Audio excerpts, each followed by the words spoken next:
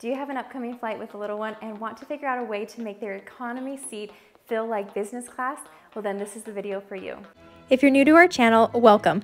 We teach parents how to have incredible vacations with their babies and toddlers, and we are so glad you found us. Be sure to subscribe to our channel for more amazing family destination spots along with travel tips. Welcome back to our channel where we talk about all things travel with young kids. Today we are going to be reviewing the top five plane bed slash seat extenders on the market today. Okay, two things before we get started on talking about plane beds for kids. The first thing that I wanna make you aware of is that not all airlines will allow you to use plane beds on their aircraft. So what you need to do before trying to attempt to bring a plane bed onto an aircraft is check their website. Um, if whether you're flying Delta, American, or an international airline, jump online, check out their website to see if they have any specifications on which type of plane beds that they allow on their aircraft or if they just don't allow them at all on the planes. Another thing that you can do is some of these plane beds that I'm gonna show you today, on their personal product websites, they have a list of airlines that they have personally reached out to and contacted and got their approval for. Um, so you can also go to these product listing websites and check out their list to see if the aircraft that you are flying does in fact allow that specific model to be present on board. I also do want to talk to you about a very important safety note. So the FAA generally recommends that kids under 40 pounds should be in an FAA approved restraint during the duration of the flight. This is either a FAA approved car seat or a CARES harness. Now the FFA is for US domestic flights.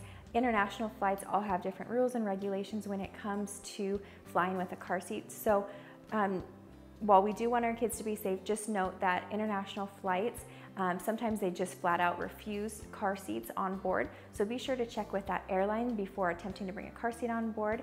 Now, if you do choose to bring a car seat on board, just keep in mind that the two hour rule still applies. What this two hour recommendation is, is that every two hours that your kids are in their car seat, they should be taken out and given a break. There's not a specific time limit for this break, but generally it's accepted every like about two hours for 10 to 15 minutes, you should pull your kids out of the car seat. This obviously applies for car rides, but this also applies when you are on a um, flight with a car seat as well.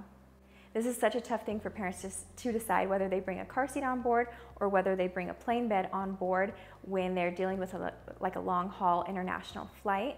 Um, while I can't make that decision for you, I can let you know just the safety recommendations and show you different options for plane beds so you can make the best decision for your kids and for your family.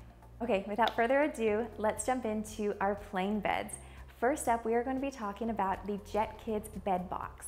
The Jet Kids Bed Box is a unique carry-on suitcase that not only can kids ride on, but also it transforms into a bed on the plane, enabling your kids to be able to sleep. Let's talk about some of the pros of this plane bed. First, the two front wheels on the suitcase are swivel wheels, which does help it maneuver much better. It also does have a little space inside the suitcase that you can store some carry-on items. There's not a ton of room, but we have been able to fit an extra blanket, pillow, sound machine, and some toys.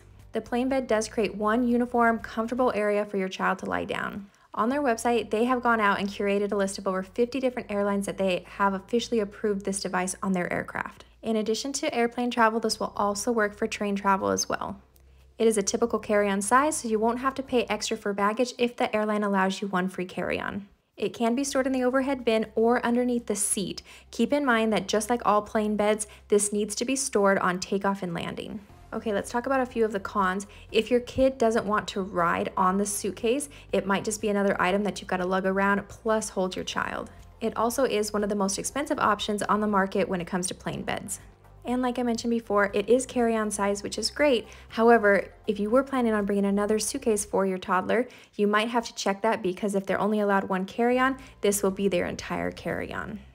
With all things considered, we still rank this as one of the top five plane beds on the market today for kids. My toddler really loves this and we have thoroughly enjoyed using this on our flights. The second plane bed slash seat extender that we are going to review is the Bubba Board. The Bubba Board was created by two parents that were just looking for a way to make travel easier for their kids and themselves. Essentially what the Bubba Board does, it is a portable seat extender allowing your young kids to sit or even lay down comfortably while traveling. An amazing benefit of the Bubba board is that you can quickly slide the inner board back into its original position without having to dismantle or deflate anything. This is really helpful because sometimes when there's turbulence, flight attendants will request that you put away your plane beds and seat extenders. Not only will the Bubba board work on flights, but it can also be used on trains, long bus rides, etc. Another thing that I've done is I've actually used this as a mat in the airport, allowing my toddler a clean space to sit when their chairs weren't available. There are multiple colors to choose from. Currently, they offer the colors purple, pink, orange, and blue. Installation is very easy and it can be done in less than 30 seconds. I love that it gave my kid a little extra space to play with their toys and books and it helped them not end up on the floor. It may also help restless legs that are prone to kick the seat in front of them be a little bit more at ease during the flight. Lastly, I love that it comes with this strap. I easily put it on my stroller or I could also put it on my shoulder depending on my preference. Some of the cons of this device is that it does not fold down into like a small box-like size.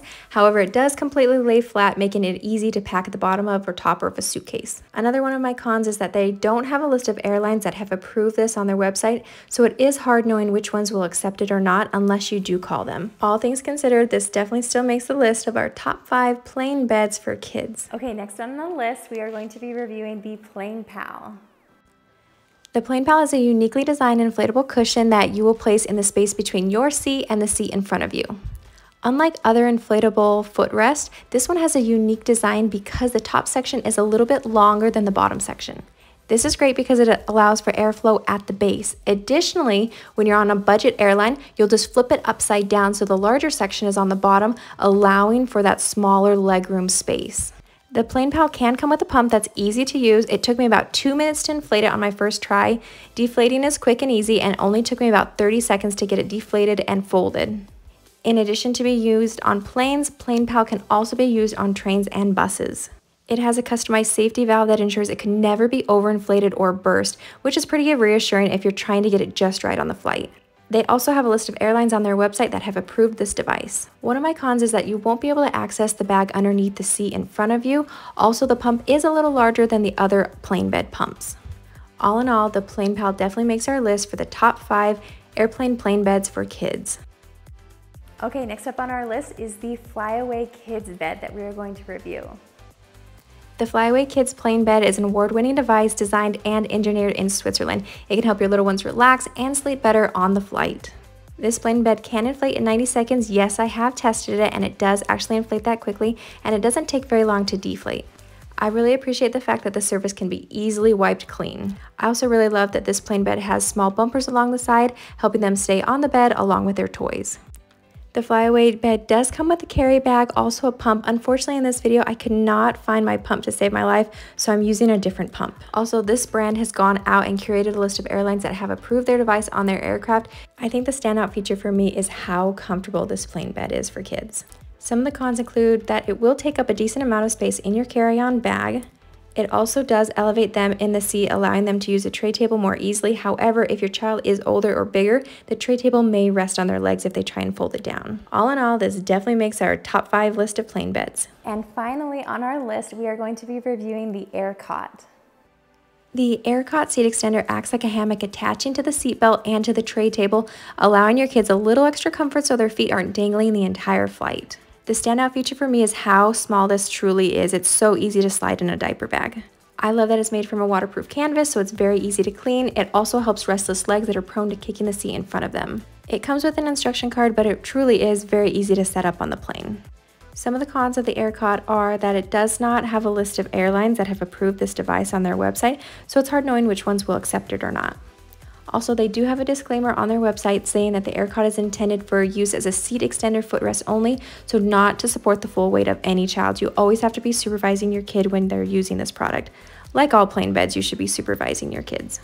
We've really enjoyed bringing the AirCot with us on our flights and definitely makes the list of the top five airplane beds for kids. Thank you so much for watching this video and don't forget to hit subscribe before you leave. I hope this video helped you determine which plane bed is going to be best for your little one on your next upcoming flight.